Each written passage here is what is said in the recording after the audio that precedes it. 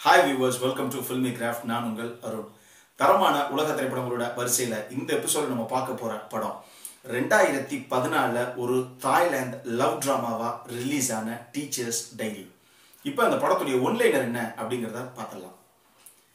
ரெண்டு நல்ல ஆசிரியர்களுக்கு இடையிலான ஒரு கண்ணியமான கொஞ்சம் கூட விரசம் இல்லாத அழகான ஒரு காதல் கதை தான் இந்த படத்துடைய ஒன்லைனர் இப்போ அந்த படத்துடைய டீட்டெயில் ரிவ்யூக்கு போகலாம். படத்தில் நம்ம ஹீரோவோட பேரு சாங் ஹீரோயினுடைய பேரு ஆன் இவங்க ரெண்டு பேருமே ஒரு ஸ்கூலில் டீச்சராக வேலை பார்த்த நபர்கள். இதில் என்ன ஒரு ட்விஸ்ட் அப்படின்னா இவங்க ரெண்டு பேரும் ஒரே ஸ்கூலில் வேலை பார்த்தாங்களே தவிர ஒரே நேரத்தில் வேலை பார்த்த நபர்கள் இல்லை. கதைப்படி ஹவுஸ் போட் ஸ்கூல் அப்படின்னு சொல்லி ஒரு ஸ்கூல் இருக்கு. இந்த ஸ்கூல் எங்கே இருக்கு அப்படின்னா அவ்வளவு அழகான ஒரு ஏரியை காட்டுறாங்க. இந்த ஏரியில மிதக்கக்கூடிய வகையில ஒரு வீடு இருக்கு. அது மிதந்துகிட்டே இருக்கு தண்ணியில.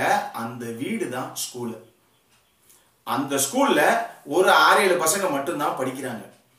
இந்த ஸ்கூலுக்கு முதல்ல டீச்சராக வேலைக்கு போறவங்க தான் நம்ம ஹீரோயின் அண்ட் இவங்க வெறும் பாடத்தை மட்டும் பசங்களுக்கு சொல்லிக் கொடுக்காம அதோட சேர்த்து பசங்களுக்கு அன்பையும் ஊட்டி எந்த அளவுக்கு ஒரு ஆசிரியர் அன்பாக நடந்து அதே நேரத்தில் பாடத்தையும் சொல்லி கொடுத்தா பிள்ளைங்க அந்த அளவுக்கு ரொம்ப பிடிச்சு போய் பாடம் கற்றுப்பாங்க அப்படிங்கிற அளவுக்கு எல்லாத்தையும் அவ்வளோ அழகா இவங்க பண்ணுறாங்க அந்த தருணத்தில் ஹீரோயினுக்கு ஆக்சுவலி ஏற்கனவே ஒரு காதல் இருக்கு.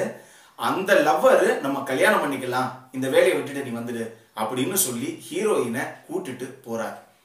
வேற வழியே இல்லாம தான் மேல உயிரே வச்சிருக்க அந்த பசங்கள்கிட்ட பிரியா விடைபெற்று அந்த ஸ்கூலை விட்டு போறாங்க ஹீரோயின் இப்போ அந்த டீச்சர் பொசிஷன் இருக்கு இல்லையா? அங்க வேக்கண்டா இருக்க அந்த பொசிஷனுக்கு திருப்பியும் அடுத்த டீச்சராக வர்றவர் தான் நம்ம ஹீரோ சாம் இவரு பேசிக்காவே விளையாட்டுல பெரிய அளவுல அவர் படிக்கும் போதே சாதிச்ச ஒரு நபர் ஒரு ரெஸ்லரால இருக்காரு.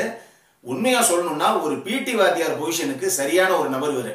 ஆனா இவருக்கும் ஒரு சைட்ல ஒரு காதல் இருக்கு. அந்த லவ்வர் நீங்க வேலையே இல்லாம இருக்கீங்க அப்படின்னு அடிக்கடி இவர்கிட்ட கேட்டதுனால எப்படியாவது ஒரு வேலையில இருக்கும் அப்படின்னாவது நம்ம சொல்லக்கூடிய அளவுல ஒரு தகுதியை வளர்த்துக்கணும் அப்படிங்கிறதுக்காக இந்த டீச்சர் வேலைக்கு அவர் வர்றாரு. நான் சொன்ன மாதிரியே ஒரு பிடி வாத்தியார் பொசிஷனுக்கு தான் சரியான ஆள் அவர். ஆனா வேற வழியே இல்லாம ஒரு கிளாஸையே இன்சார்ஜ் மாதிரி எல்லாமே கத்துக் கொடுக்குற சயின்ஸ் மேக்ஸ் எல்லாமே கத்துக் கொடுக்குற ஒரு டீச்சரா இந்த ஸ்கூலுக்கு அவர் வர்றாரு. உண்மையாக அதெல்லாம் அவருக்கு பெருசா தெரியாது. வந்த புதுசுல பசங்களை பார்த்த உடனே அவருக்கு இந்த பசங்க பண்ணுற சேட்டைகள் ஆகட்டும் புரிஞ்சிக்காத விஷயமாகட்டும் இதெல்லாம் பார்த்து பெரிய கோபம் வருது. ரொம்ப கடுமையாகவும் சில இடத்துல நடந்துக்கிறார் ஒரு சமயத்தில் இவர் அந்த பிளாக் போர்டுக்கு மேலே சாக்பீஸ் டப்பா இருக்கு இல்லையா? அங்கே ஒரு சாக்பீஸ் எடுக்கலாம் அப்படின்னு கையை விட்டு தேடும் போது அங்கே ஒரு டைரி இவருக்கு கிடைக்குது. அந்த டைரி யாரோடது அப்படின்னா நம்ம பழைய டீச்சராக இருந்த ஹீரோயின் ஆனோட டைரி அது. ஹீரோயினுக்கு எப்பயுமே டைரி எழுதுகிற பழக்கம் உண்டு. டெய்லி தன் வாழ்க்கையில் நடக்கிற சுவாரஸ்யமான சம்பவங்கள்லாம் என்ன? என்ன பிரச்சனைகள் இன்னைக்கு நமக்கு வந்தது? அந்த பிரச்சனைகளை எப்படி நம்ம ஃபேஸ் பண்ணோம்? பசங்களை எந்தெந்த விதமாக அவங்களுக்கு பிடிச்ச விதமாக நம்ம பாடங்களை சொல்லி கொடுத்தோம் அப்படிங்கிற விஷயங்கள்லாம் அவங்க டைரியில எழுதுறாங்க. இதை பார்த்ததுக்கு அப்புறம் இந்த டைரியை டெய்லி அவர் வாசிக்க ஆரம்பிச்சு பசங்கள்கிட்ட இருந்து இதே மாதிரி பிரச்சனைகள் வரும்போது ஆன் எப்படி ஹேண்டில் பண்ணாங்க? அதே மாதிரி நம்மளும் ஹேண்டில் பண்ணலாம் அப்படின்னு சொல்லி இவரும் ஹேண்டில் பண்ண ஆரம்பிக்கிறார். கொஞ்சம் தூரம் படம் போனதுக்கப்புறம் எப்படி நம்ம ஆனை பசங்களுக்கு ரொம்ப அளவுக்கு அதிகமாக பிடிக்க ஆரம்பிச்சதோ அந்த அளவுக்கு நம்ம ஹீரோவான சாங்கையும் எல்லா பசங்களுக்கும் பிடிக்க ஆரம்பிக்குது. எங்கள் வாத்தியார் தாண்டா டாப்பு அப்படின்னு பசங்க உயிரை வச்சிருக்காங்க அவர் மேலே. இப்படி அவங்களுடைய டைரியை படிச்சு இந்த பெண் எந்த ஒரு நல்ல குணாதிசயம் கொண்ட பெண்ணாக இருந்திருப்பா அப்படின்னு சொல்லி அவங்க மேல அவங்க குணங்கள் மேல அதிகமா ஈர்க்கப்படுற ஹீரோ அவங்கள ஒரு தருணத்துல காதலிக்கவும் ஆரம்பிக்கிறார். இதே மாதிரி ஒரு நேரத்துல இந்த ஸ்கூலுக்கு பிரின்சிபல் ஒருத்தர் இருக்காரு. அந்த பிரின்சிபல் தான் அவங்க ரெண்டு பேர்த்தையுமே போஸ்டிங் போட்டு இந்த ஸ்கூலுக்கு அனுப்புனது. அந்த பிரின்சிபல்கிட்டயே போய் இதுக்கு முன்னாடி இங்கே வேலை பார்த்த அந்த டீச்சரான ஆன் இப்போ எங்கே இருக்காங்கன்னு நீங்கள் சொல்ல முடியுமா? அப்படின்னு கேட்குறாரு அப்போ அந்த பிரின்சிபல் சொல்கிறாரு அந்த பொண்ணுக்கு கல்யாணம்னு சொல்லி தான்ப்பா கடைசியில் வேலையை விட்டு போச்சு. அப்படின்னு சொல்லும்போது ஹீரோவோட மனசு சுக்கு சுக்காக உடையுது. தன்னுடைய காதல் இதுக்கப்புறம் துளிர்க்கிறதுக்கு வாய்ப்பே இல்லையா அப்படின்னு நினைக்கிற ஹீரோ இதுக்கப்புறம் அந்த ஹீரோயினை கடைசியாக தேடி கண்டுபிடிச்சாரா மீட் பண்ணாராங்கிறது தான் படத்துடைய லவ்வபிளான மொத்த ஸ்டோரியை இந்த படத்தில் என்னை பேசிக்காக ரொம்ப ரொம்ப கவர்ந்த விஷயங்கள் என்ன அப்படின்னா ரெண்டு ஆசிரியர்களுக்கு இடையிலான ஒரு காதல் கதை இது. இருந்தும் இது ஒரு லவ் ஸ்டோரி அப்படின்னு நீங்க ஸ்டாம்பிங் பண்ணிக்கலாமே தவிர இந்த படத்துல ஒரு ஷாட் கூட ஹீரோயினும் ஹீரோவும் தொட்டு பேசினதா ஒரு சீன் இருக்காது.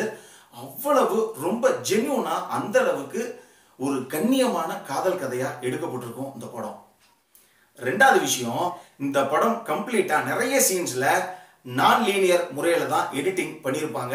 எடிட்டிங்கும் ஸ்க்ரீன் பிளேயும் தான் இந்த படத்துக்கு முதல் ஹீரோன்னு நான் சொல்லுவேன். அதுக்கு காரணம் என்ன அப்படின்னா ஹீரோ இன்னைக்கு ஒரு ஷார்ட்ல உதாரணத்துக்கு அவர் ஹீரோ ஸ்கூல்ல போய் இறங்குறாருன்னு வச்சுக்கோங்களேன். அந்த இறங்குற தருணத்துல முதல் முதலா அவர் அந்த ஸ்கூலை பார்த்த உடனே அவருடைய உணர்வுகள் எப்படி இருந்தது அப்படின்னு சொல்ற. அதே நேரத்துல அப்படியே கட் பண்ணி அதே சீன்ல ஹீரோயின் முதல் முதல்ல ஒரு வருஷத்துக்கு முன்னாடி அந்த ஸ்கூல்ல வந்து இறங்கினப்ப அவங்களுடைய உணர்வுகள் எப்படி இருந்தது அப்படிங்கிற ஷாட்டுக்கு படம் போயிடும். ஹீரோ இப்போ ஒரு பிரின்சிபல்கிட்ட பேசுறாரு அப்படின்னா ஒரு வருஷத்துக்கு முன்னாடி அதே இடத்துல ஹீரோயின் அந்த பிரின்சிபல்கிட்ட என்ன பேசிட்டு இருந்தாங்க அப்படிங்கிற அந்த கட்டுக்கு படம் போயிடும். இந்த நான் லீனியர் முறையில் பண்ணப்பட்ட எடிட்டிங் தான் படத்திற்கு உயிரோட்டம்ங்கிறது என்னுடைய கருத்து.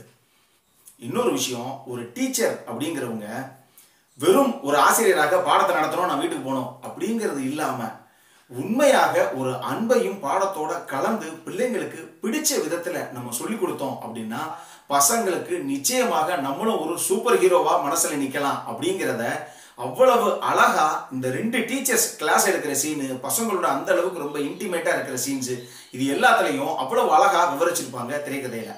அதே மாதிரியே இந்த படத்துல சில அருமையான காட்சிகள் இருக்கு.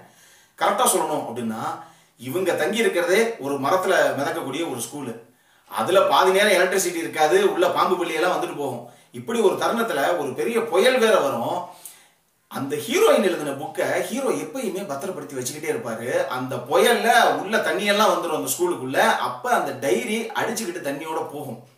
ஆனா அந்த சமயத்துல அங்க இருக்கிற அந்த பசங்க எல்லாம் பயந்து போய் சார் அப்படின்னு சொல்லி இவரை கட்டி பிடிச்சிட்டு பயந்து போய் ஒரு ஓரமா உட்காந்துருவாங்க அந்த நாலஞ்சு பசங்களும். இவர் பசங்களை முத நம்ம வந்து அரவணைக்கிறதா? இல்ல டைரி தண்ணியோட போதே அதை காப்பாத்துறதா? அப்படின்னு தெரியாம கடைசி நேரத்துல நமக்கு பசங்க தான் முக்கியம் அப்படின்னு சொல்லி அந்த டைரியை தண்ணியில போக விட்டுருவார். இது ஒரு அமேசிங்கான ஷாட் அதே மாதிரியே ஹீரோயின் இந்த ஸ்கூலுக்கு வந்து இறங்கும் போது அவங்க தனியாக வராம கூட இன்னொரு பொண்ணு அவங்க ஃப்ரெண்டு அவங்களோட தான் வந்து இறங்குவாங்க. அந்த பொண்ணு வந்து இறங்கின கொஞ்ச நேரத்தில் நம்ம இங்கே ஒரு செல்ஃபி எடுத்துக்கலாம் அப்படின்னு சொல்லி அந்த பொண்ணும் ஹீரோயினும் சேர்ந்து இருந்த ஒரு செல்ஃபி ஒன்று எடுக்கும். ஆனால் அந்த ஃபோட்டோவில் அந்த பொண்ணுடைய முகம் மட்டும்தான் இருக்கும். அந்த பொண்ணே அழகாக இருக்கும். ஆனால் அந்த பொண்ணுடைய முகம் மட்டும்தான் இருக்கும். ஹீரோயினுடைய கை மட்டும்தான் அந்த ஃபோட்டோவில் தெரியும். ஆனால் ஹீரோ அந்த ஃபோட்டோவை பார்க்கும் போதெல்லாம் தெரிகிற அந்த பெண்ணுடைய முகத்தை அவர் பார்க்கவே மாட்டார். முகமே தெரியாமல் ஒரே ஒரு கை மட்டும் ஓரமாக தெரியும். ஒரு சின்ன டேட்டூ போட்ட மாதிரி ஹீரோயினுக்கு அந்த கையை மட்டுமே அவர் பார்த்துக்கிட்டே இருப்பாரு. இது உண்மையாக அழகுங்கிறது உருவங்கிறது காதலுக்கு ஒரு விஷயமே கிடையாது. காதல் அதையும் தாண்டின ஒரு விஷயம் அப்படின்னு ரொம்ப அழகா சொல்லாம சொல்ற ஷார்ட்ஸ் இது. இந்த படம் நிச்சயமாக நீங்க ஃபேமிலியோட கம்ப்ளீட்டா த்ரூ அவுட் உட்காந்து பார்க்கக்கூடிய அருமையான ஒரு லவ் ஸ்டோரி இந்த படத்துக்கு ஃபில்மிகிராஃப் கொடுக்கக்கூடிய rating seven point seven five out of ten இப்போ நம்மளுடைய அடுத்த செக்மெண்ட்டான இன்ட்ரெஸ்டிங் ஃபேக்ட்ஸ் போட் மூவிக்கு போகலாம்.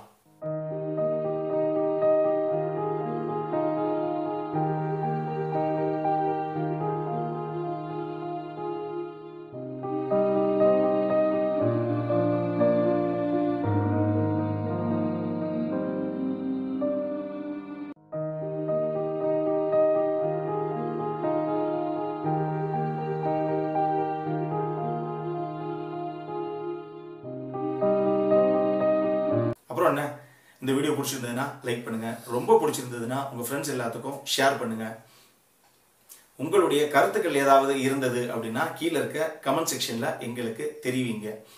வீடியோவை க்ளோஸ் பண்ணுறதுக்கு முன்னாடி சப்ஸ்கிரைப் பண்ணுங்கள் சப்ஸ்கிரைப் பண்ணும்போது பக்கத்தில் இருக்க நோட்டிஃபிகேஷன் பெல் ஐக்கானையும் கிளிக் அப்போ தான் எங்களுடைய வீடியோஸ் எல்லாம் உங்களை ஆன் டைம் வந்து சேரும்.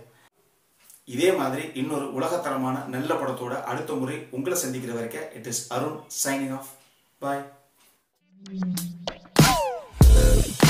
you.